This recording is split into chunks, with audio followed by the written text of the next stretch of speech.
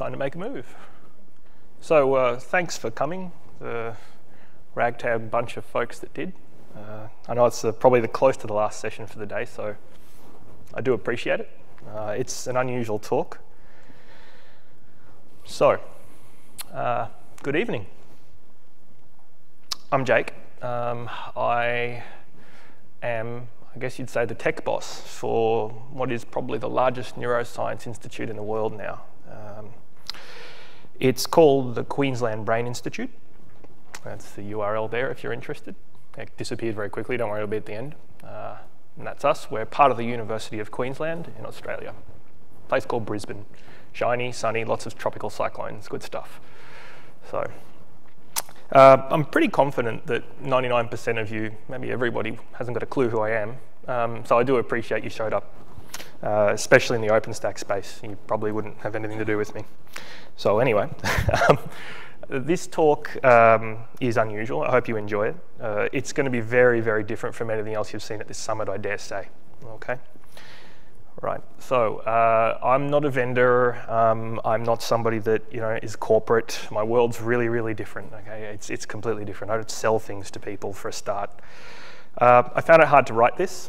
Um, uh, I think you'll understand why in a few minutes. I changed a lot of the slides uh, just a day ago, in fact, as a consequence of something I saw just uh, just a day or so ago.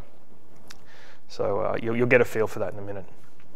So uh, as I understand it, in any given year, uh, in Canada in particular, um, there's uh, a very serious uh, mental health and mental mental illness issue, and it costs the economy in this country 50 billion Canadian dollars. Right? So I'm, I'm, getting somewhere with this.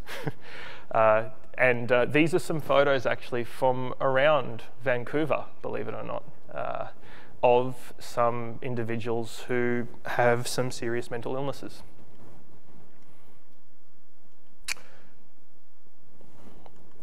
So, here's where it got weird. Um, yesterday, I watched a guy uh, in the street. You probably all know where that is. It's not far from here. Um, and he was begging for some food. Um, and and I, I noted that. So uh, I, I, actually went up and had a chat to him. Uh, and he was out near the waterfront. Uh, I think you probably all walked past that point. He, um, he, was, he was in real trouble. Um, and, and I guess he, oh, hang on, where'd the presentation go? I blanked it. There he is. Cool. So yeah, he, he was in he was in a real spot of bother. Um, he was emaciated. Um, he was in tears. He was shaking, and I was actually really worried about him. Right? Uh, you probably think that's kind of strange, um, but did a single person stop? No, no one stopped. After 400 people walked past this guy, no one stopped, and I thought that was kind of sad, right? Uh, anyway, um, I had a chat and I asked what was wrong, and he said he hadn't had a job in 15 years because he had uh, a form of paranoid schizophrenia. Right? That's not an uncommon thing um, amongst the homeless in this city. Right? So uh, I've done a little background reading on the city itself. So depending on the study that you look at, and this is, this is, it varies wildly, between 23 and 74% of people in Canada on the whole have reported a form of mental illness. And that's, that's alarming, right? Uh, my own country isn't that much better in Australia. And among those, um, if you look at the unemployment rates, it's pretty high. So um, I don't know if uh, anyone here recognises that, but that's actually the slums of Mumbai in India. So um, you know, before anyone says, "Oh, poor Peddle," um, he's probably just never seen a homeless person in his life. Uh, that's just life here.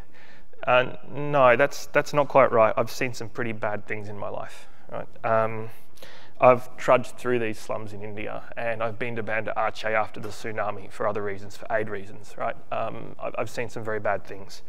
So uh, my point is that the world over, we've got a really big societal problem to deal with, right? Um, it's not about our dashboard breaking or our glance images not uploading properly or any of that. It's, it's more than that, right? So you're all tech people, right? Why, why would you care? Uh, and you know, all you are is technology people. Uh, but no, no, you're all more than that, and I'll get to that in a minute. And I'd hazard a guess and make the assumption that there is somebody in this audience, uh, I, I, would almost be sure of it, I could, I could put money on it if I were a betting man, who has been touched in some way by aging or dementia or a mental illness, whether it be them, their family, or otherwise, right? So It could have happened to you, it could have happened to others, but I'm pretty sure somebody will know about it. So here's some perspective, because I think this is important. Um, you know, we've all achieved a lot in life. You know, we, have all done a lot, not, not just stack-wise. We're technology people and we're unique and we're creative. Right? Uh, I think that's important. We should care because we actually have a lot of ability to change the world. They keep talking about it at this summit, like, oh yeah, you know, this technology can change the world. Yeah, it can. Um, a lot of the time it's focused on corporate money, on uh, making better infrastructure and all that kind of thing.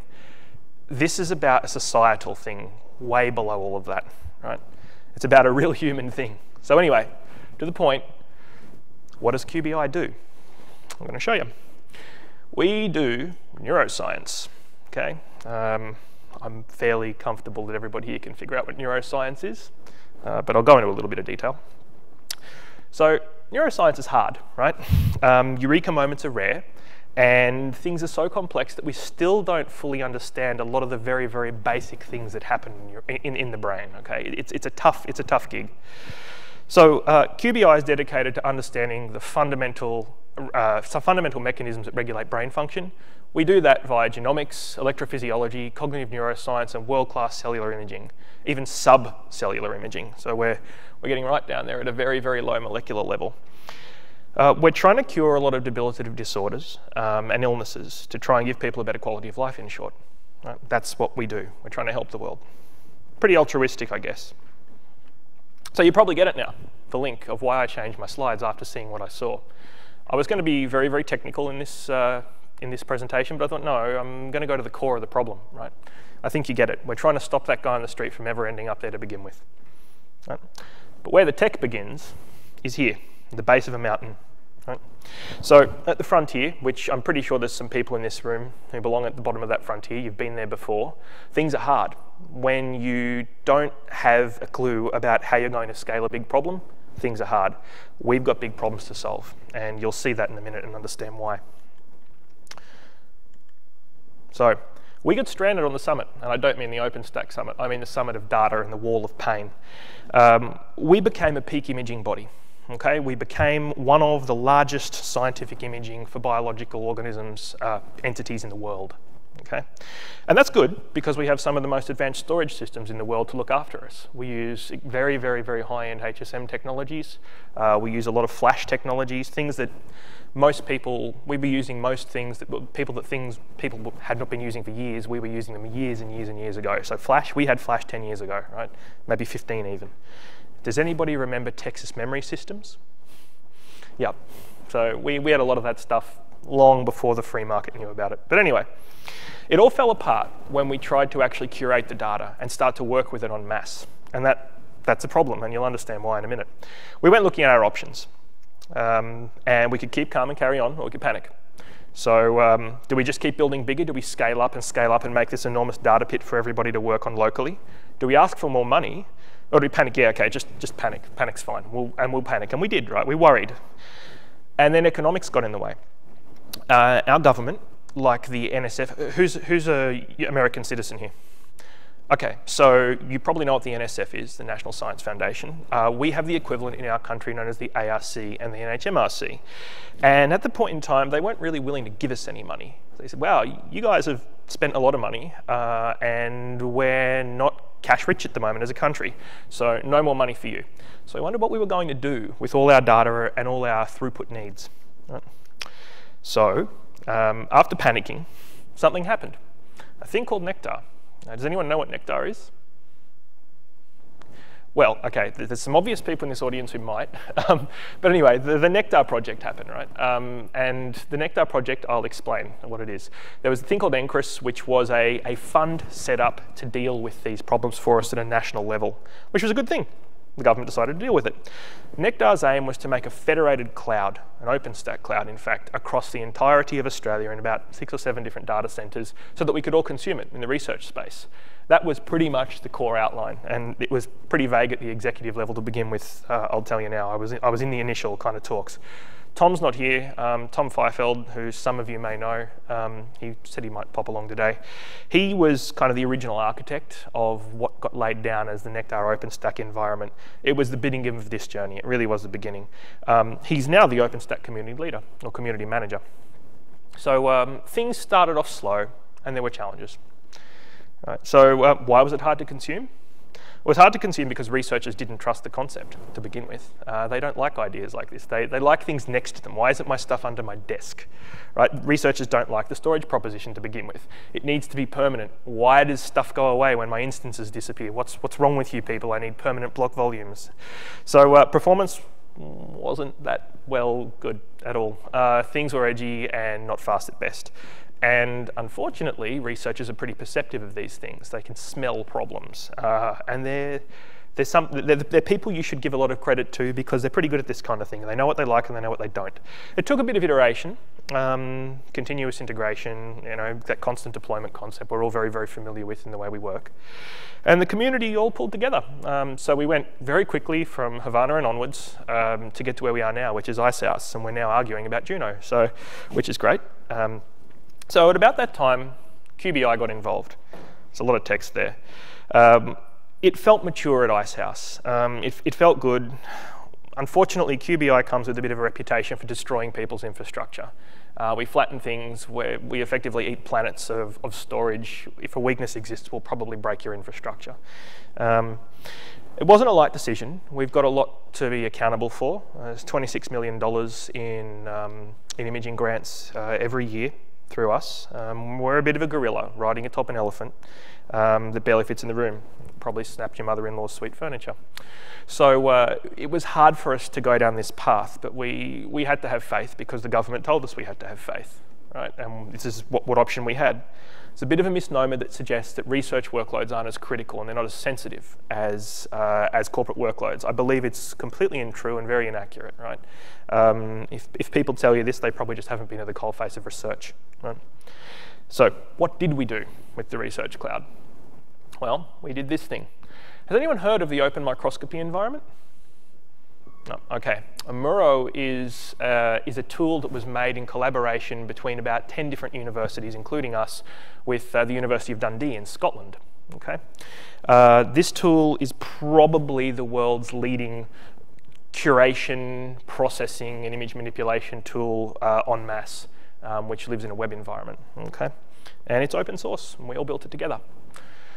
Proportionality is uh, what we were dealing with when we were putting all this together. To give you some idea, microscopes, all several, several million dollars each, um, are the kinds of things we're using. About 50 different instruments across the institutes, generating about 100 terabytes of unstructured data per day. Um, that's pretty big. To us, that's not giant though, because we've got genomic sequences which kick out a heap more. So uh, we've got super resolution microscopy, multi-photon, we've got spinning disk. Some of these things might be familiar to some of you, some of it might mean nothing to you. Either way, a lot of money, a lot of care, a lot of very sensitive instruments with a lot of big data.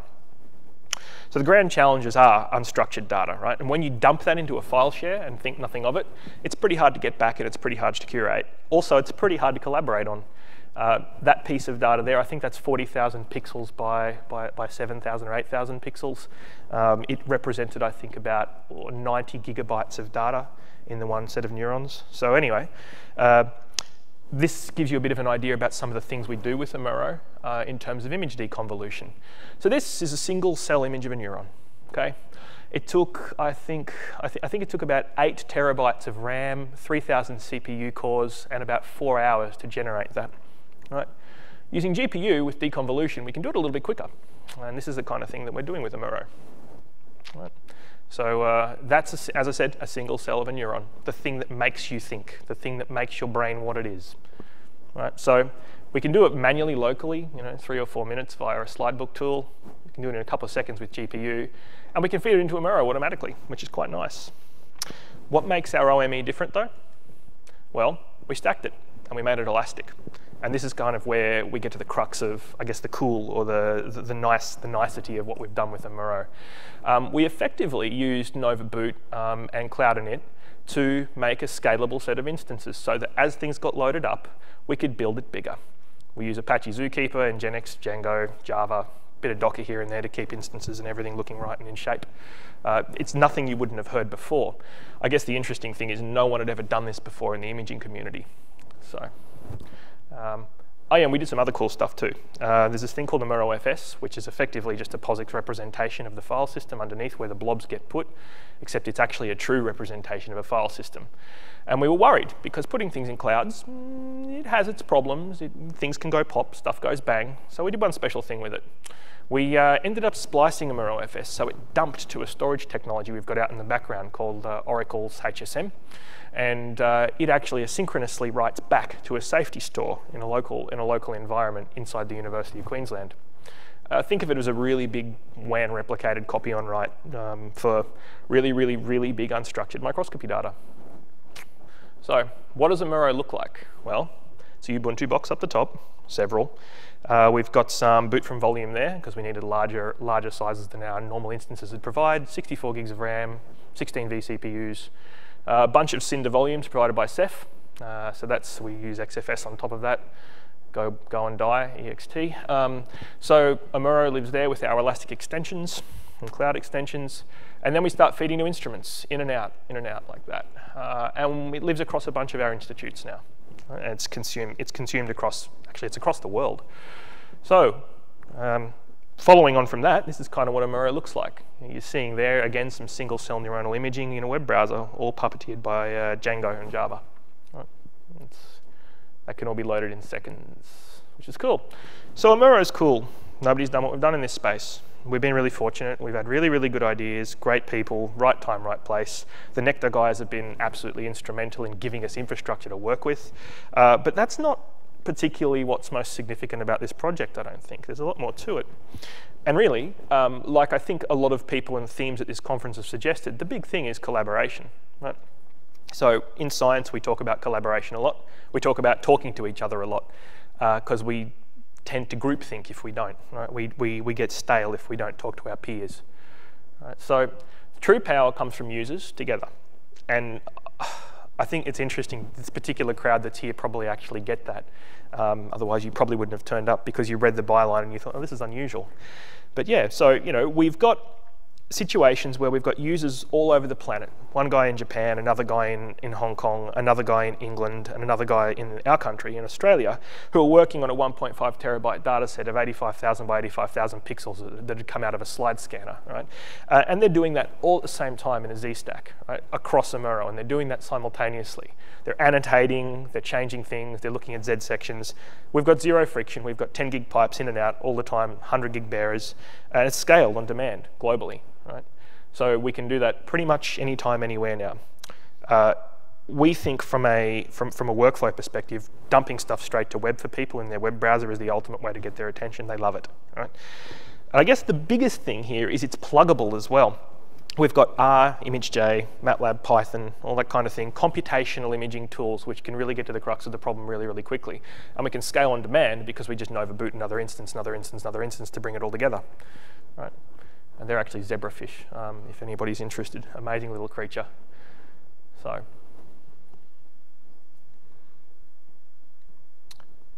It's not about the Swift ring. And it's really not about how cool the SR-IOV pass-through is. Um, further to that, it's not about the puppeteering and the orchestration.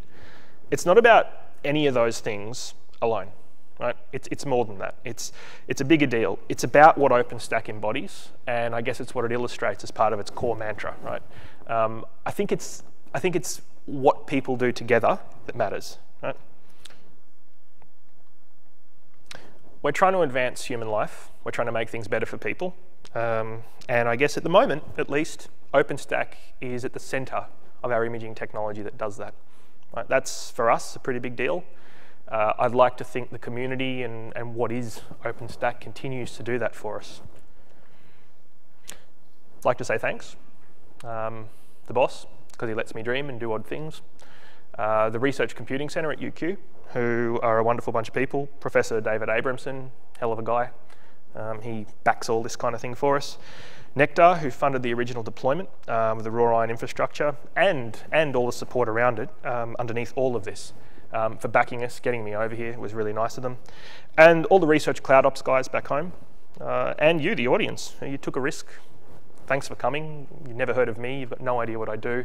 I know this is weird out there stuff compared to the normal things you'd probably look at at an OpenStack conference. So I really do appreciate it.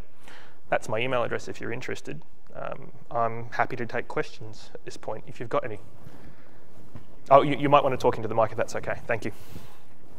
Just so they can catch it all. Cheers. You you mentioned the POSIX file system. Yep. Is that a is that a front end to a Swift, um, OpenStack Swift? So uh, it's sitting. It, it's not actually no. Um, we've got POSIX sitting in I guess what would look like traditional POSIX to the application.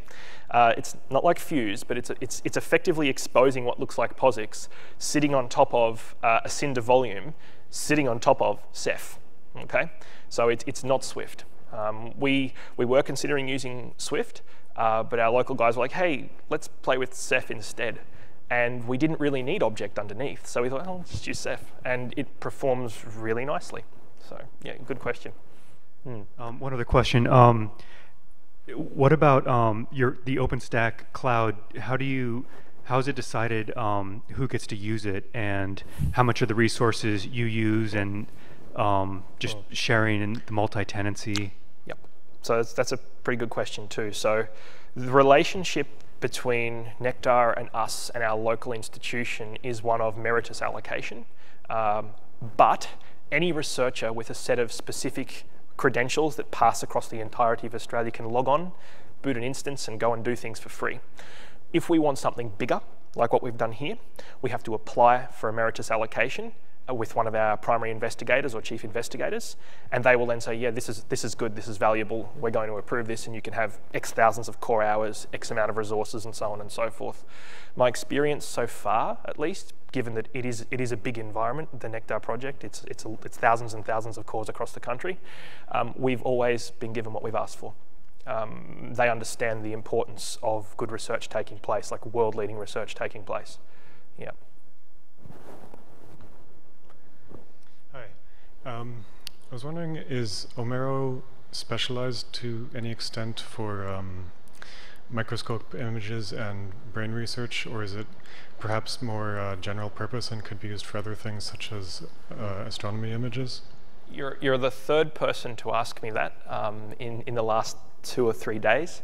Uh, Omero is highly specialized towards light microscopy and optical microscopy. Uh, there are considerations to make it more geared towards the use and, and, uh, collaboration for um, MRI-like microscope, MRI imaging, PET-CT imaging, and other kinds of imaging which haven't really been explored yet. So there is every likelihood that it'll turn its turn its skills to the kind of imaging you're talking about in time. But at the moment, it was all about optical microscopy for predominantly life sciences. Hmm. Good question. Any other questions?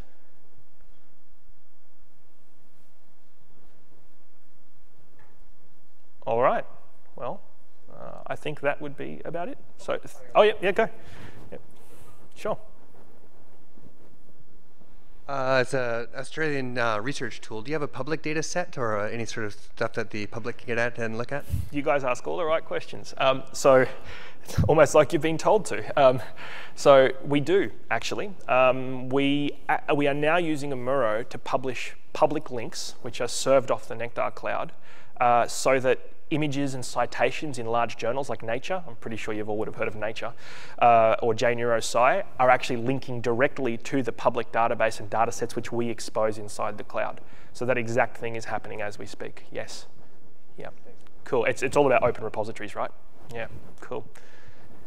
Yep, uh, if you could speak into the mic, that'd be great. Sorry. Cheers.